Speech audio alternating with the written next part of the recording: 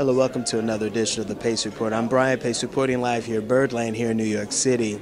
In a very rare performance here tonight at Birdland, jazz vocalist Kevin Mahogany, along with his very dear friend Dave Stryker, are performing with the Dave Stryker Organ Trio tonight.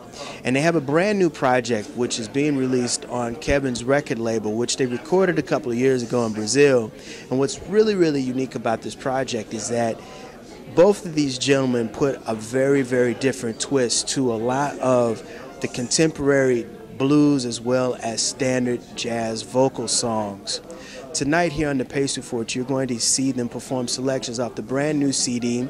Sit down and talk with both of them about this project and also talk about Kevin's origins and beginnings in Kansas City on how he developed his vocal style late in the game as well as him carrying on the tradition of the baritone vocal style like Arthur Prysock as well as Billy Eckstine.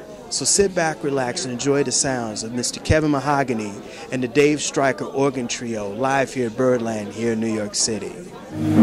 If you should plan to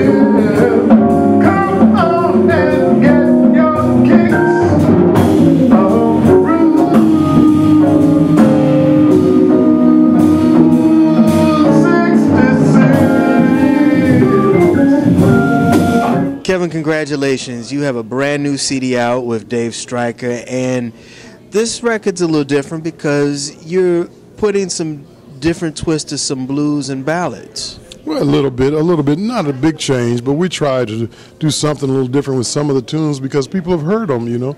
They're standard repertoire, so a lot of people sing them. So the best way to keep something new is by making it a little different, but hopefully it's not so different that people, you know, get turned off by it. You also recorded this album in Brazil. Yeah, that was a blast. We were down there for a major jazz festival, man, with, I mean, literally tens of thousands of people at this festival. It was great, but the atmosphere down there just turned out right. And uh, the young man that we had the opportunity to work with on drums had a studio. So we went in and knocked that out, and it turned out to be great. And also, this is on your own imprint, too. Yes, it's on Mahogany Jazz. And we've been, I mean, I've been doing my own thing for a little while, but we've been branching out, doing some other, not only material, but other uh, artists on our label. So this one is a Dave Stryker production. He produced this one. So uh, in some ways, even though it's getting us back out there, in this sense, it's also getting him out there as a producer. You know, so it works out well for everybody. Tell me some of the songs that you cover on this CD. Well, on this one, we have uh, actually we have one original of mine called Kansas City Born and Bred because I'm originally from Kansas City. So every once in a while, I got to put that back out there, let people know that we still and we real. You know, and then we, but we've got some other stuff. We've got a few other blues. We've got some ballads. We uh, a tune like "Secret Love." We turned into a ballad. It turned out beautiful. Uh, we also, um, I want to talk about you, a tune by the late, great Mr. Billy Eckstine. It, as a tune I fell in love with, and I told him I wanted to record it. I've done it once before, and I want to do it again. Uh, you know, some of the great artists, not saying I'm one of the great artists, but some of the great artists recorded tunes that they liked three and four times on different projects. And so this gave me another chance to do that, as well as like Teach Me Tonight. Uh, Next Time You See Me, which is a blues, but it's also happened to be the title track of the album. So we got a variety of stuff on there that we've done a different number of different ways. Uh, again, hopefully it's nice enough mixture to keep you interested from the beginning to end. Tall and tan and young and lovely The girl from Ipanema goes walking When she passes, each one she passes goes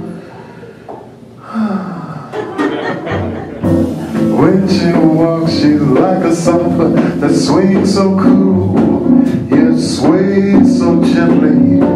When she passes, each one she passes goes.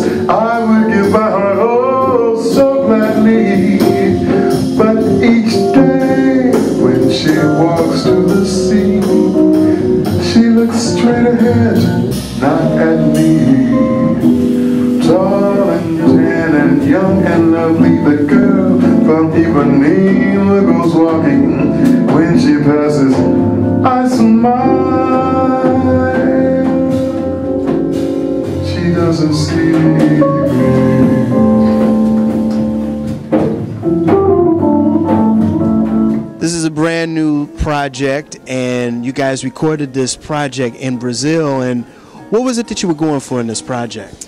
Well, we were in Brazil because I had a festival over there, and I had been there the year before with my organ trio, and this time I suggested we bring Kevin as a special guest, and it worked out great. They they loved him over there.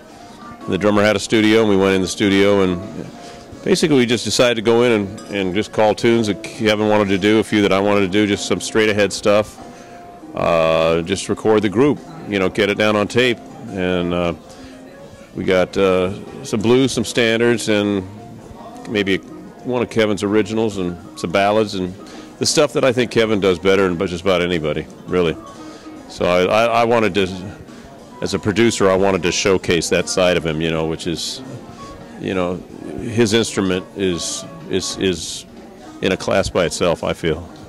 What is it about Kevin's voice that is just so in the vein of like an Arthur Prysock or the great Billy Eckstine? What is it about him that's bringing the contemporary side of what those vocalists did back in the day? Well, we both came up in the at the same time in the '70s. In fact, we were just listening on the way over here to a bunch of '70s R&B stuff. It was happened to be on BGO on Sunday nights, and we were just grooving the whole way here. Uh, but the thing is, Kevin is. Uh, it's funny that his name is Mahogany, and that's really his name because you know if you think about his voice, it's got that. that it sounds like wood. You know, it sounds woody. It sounds like rich. And I don't know how he got such a great instrument. Some, you know, I guess some singers are just born with a gift, you know, to have a, a naturalist instrument, and he really has that. Uh, you know, very unique, uh, special instrument. Just in time, I found you just in time. Boy, you came my time on the running low. I was lost, the losing dice were tossed, bridges all were crossed. There's nowhere for me to go, but now that you are here, and I know just where I'm going, no more doubts or fears. I found my way, for love came just in time. I found just in time, and you changed my loneliness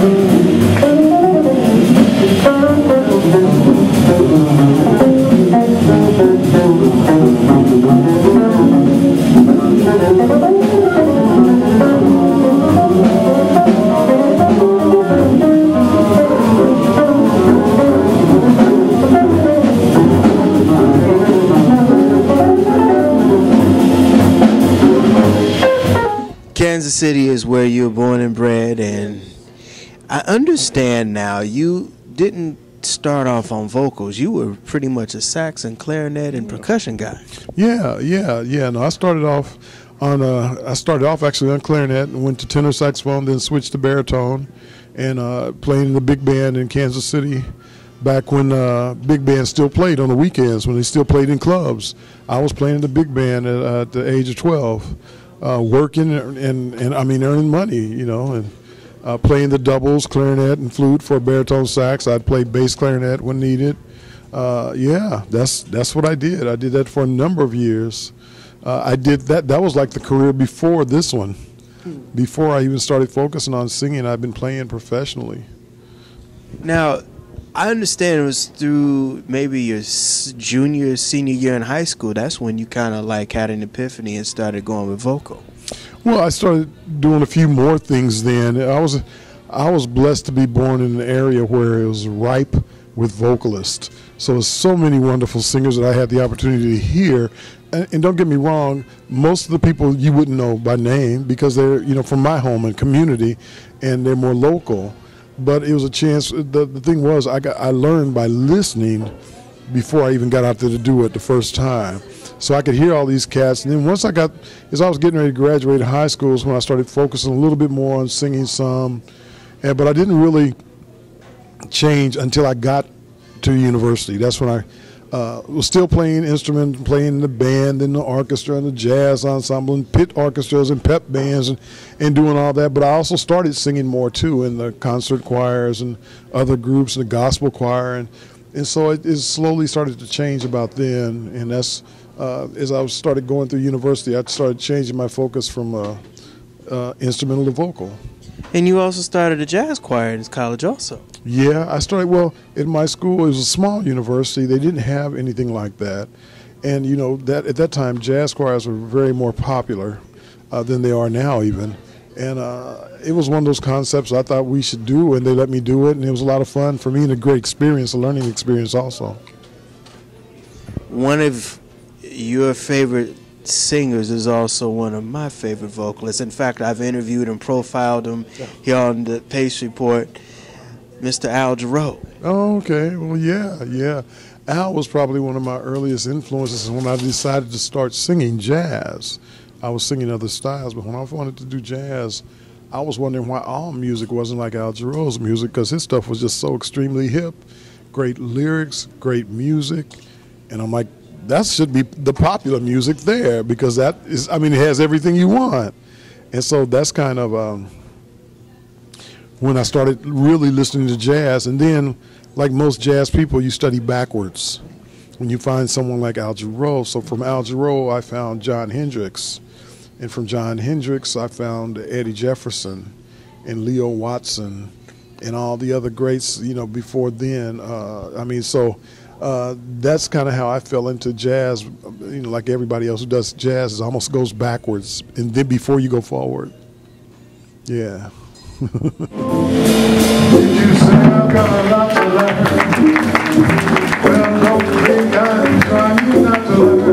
Since this is the perfect spot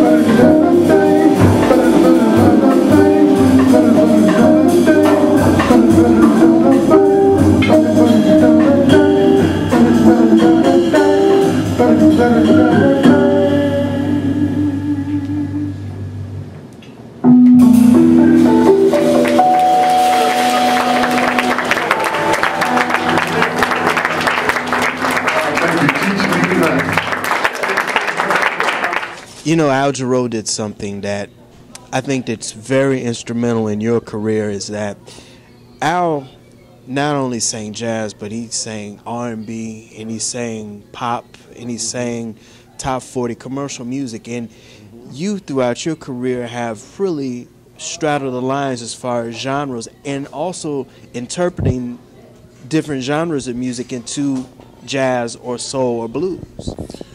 Well, you know, it's interesting you say that uh, because at one time someone made a comment about my singing that it sounded like it was, you know, well, I can tell that's him because it's got that little R&B thing. And I was like, well, yeah, because that's what I grew up on, you know. I mean, when you grow up with that, you can't avoid those influences in your life. You know, if I grew up in the 40s, it, I'd sound different. But I grew up when Motown was strong and uh, Tamla and Stax Records and the sound of Philadelphia. That's what I grew up on. So when people always always ask me about my earliest jazz influence, I say those were it. The Motown was it. You got to remember Motown, their band, their regular band were jazz players first, man.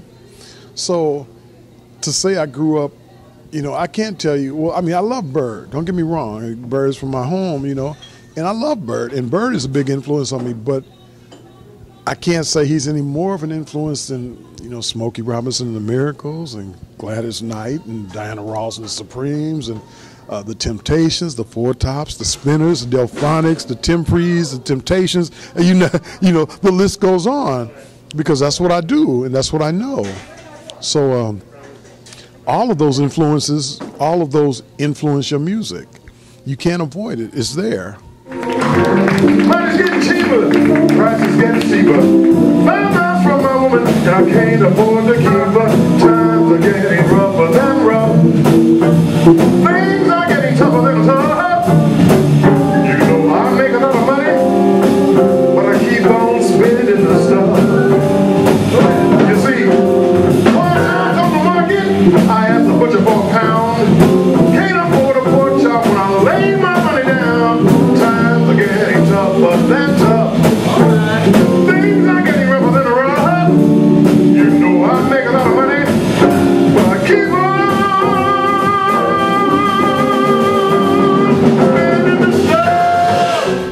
Do it again for another edition of the Pace Report, reporting live here at Birdland here in New York City. I'd like to personally thank Mr. Kevin Mahogany as well as Dave Stryker and the organ trio for their time, as well as the staff and management here at Birdland. As always, please visit my website, www.thepacereport.com, for my weekly column as well as my past segments. Until next time, remember if it's in the groove, it'll make you move. Until next time, peace.